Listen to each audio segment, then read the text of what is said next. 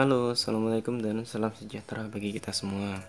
Nah, saya mau bagi ilmu karena di sini kita diberikan map baru, dua map baru yaitu Los Angeles dan Great Wall. Nah, gimana caranya untuk belajar dua map baru?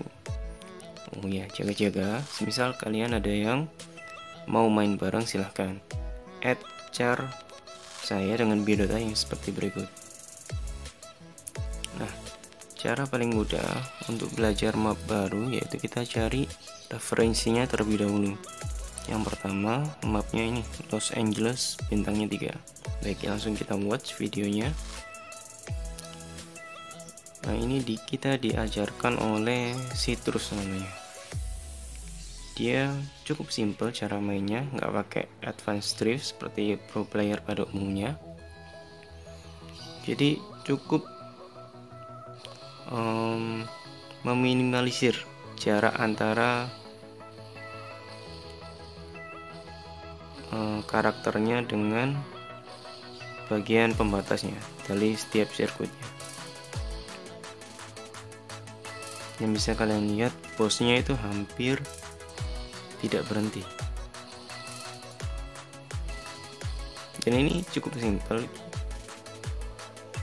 Bisa ditiru oleh hampir semua orang.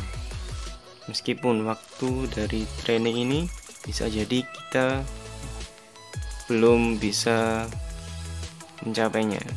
Kadang kita lebih lama dari tutorial ini.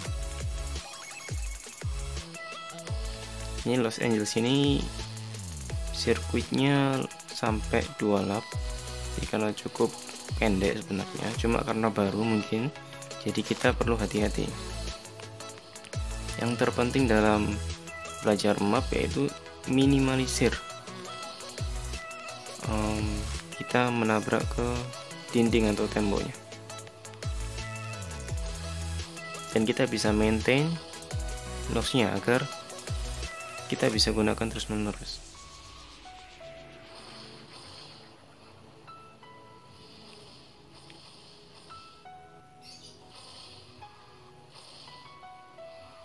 dan di setiap sirkuit yang diajarkan itu ada apa skill-skillnya yang perlu kita gunakan di map ini. Walaupun kita pun boleh pakai skill-skill yang lain. Nah itu referensi yang pertama. Selain dari tutorial di training itu juga ada referensi yang bisa kita gunakan untuk belajar map baru.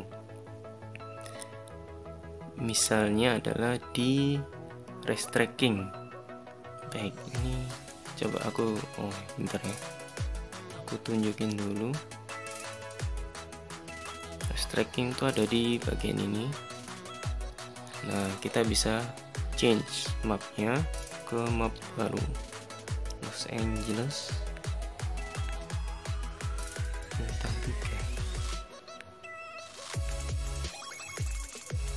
Nah ini di sini kita lebih realistis karena yang melakukannya itu benar-benar player yang asli bukan tutorial. Nah bisa jadi mereka itu lebih jago daripada tutorial yang diberikan oleh Citrus tadi. Oke coba kita lihat dari race trackingnya yang juara satu. Nah melihat race tracking itu bisa kita jadikan referensi Perbedaannya dengan tutorialnya Citrus dengan orang-orang yang melakukannya pada umumnya.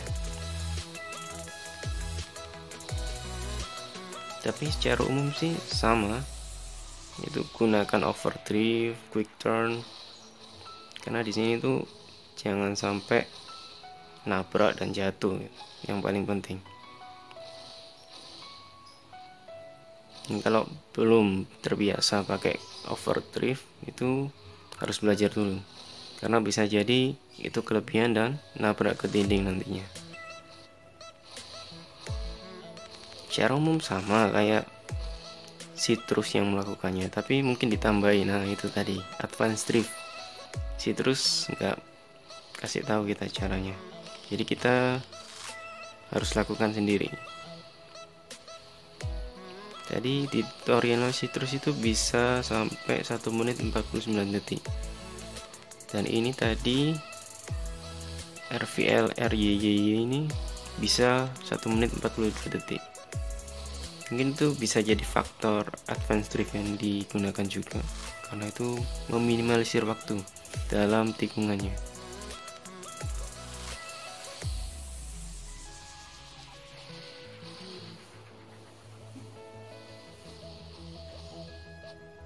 Nah yang penting dari Los Angeles itu naik ke tadi. Jangan pakai jalan yang rendah tapi yang tinggi.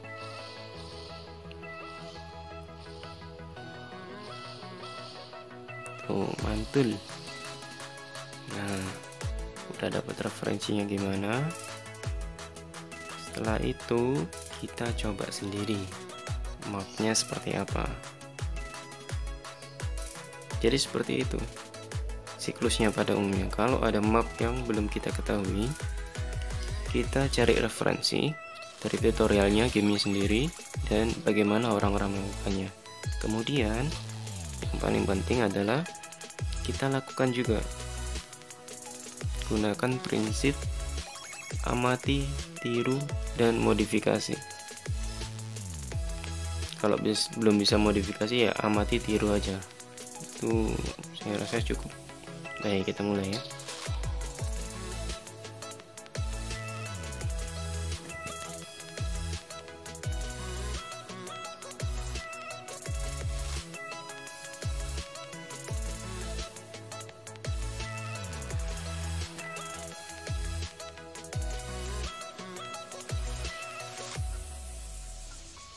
Nah, awal mulai tadi baik tutorialnya maupun race trackingnya selalu snap boost di awal.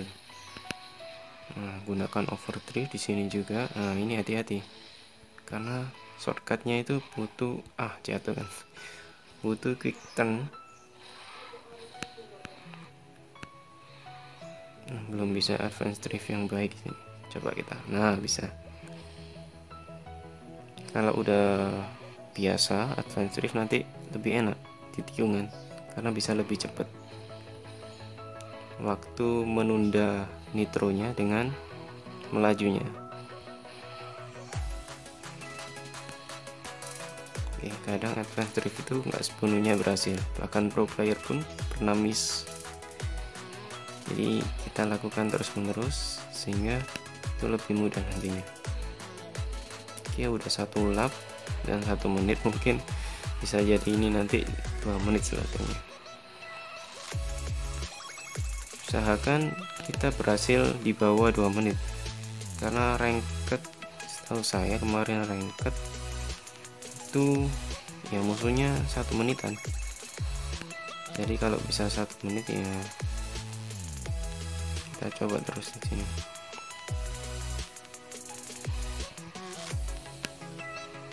Oke. okay. Maintain jangan sampai nabrak. Itu idenya. Nggak berhasil. Oke. Jadi ya realistis kalau kadang kita nggak berhasil dan salah jalan itu harus tetap tenang. Jangan kupu karena musuh pun juga bisa kupu. Oh ini bisa satu menit. Oke nah pas banget kak nggak rekor baru juga jadi ya seperti itu. Amati, tiru, modifikasi. Kita cari referensinya dari game sendiri, kita cari referensi orang-orang bagaimana melakukannya dan kita lakukan sendiri. Kalau kita tidak bisa mengikuti sama seperti mereka referensinya tadi, maka gunakan cara kalian sendiri. Seperti saya tadi, belum bisa mendekati 1 menit 49 detik. Belum juga bisa apalagi yang restrictingnya 1 menit 42 detik. Jadi seperti itu cara paling mudah untuk belajar atau mapping map yang belum kita ketahui. Nah semisal kalian ada cara-cara yang mungkin belum saya sebutkan di atas bisa di share di kolom komentar ataupun kalian tunjukkan orang-orang um, yang melakukan cara-cara untuk belajar map yang baru. Jadi di akhir video ini nanti saya akan fokus coba bisa nggak melebihi rekor yang pernah saya lakukan di map baru ini. Jadi tetap belajar tetap cari referensi-referensi baru dan modifikasi dari apa yang mereka lakukan. Ini terima kasih. Assalamualaikum warahmatullahi wabarakatuh.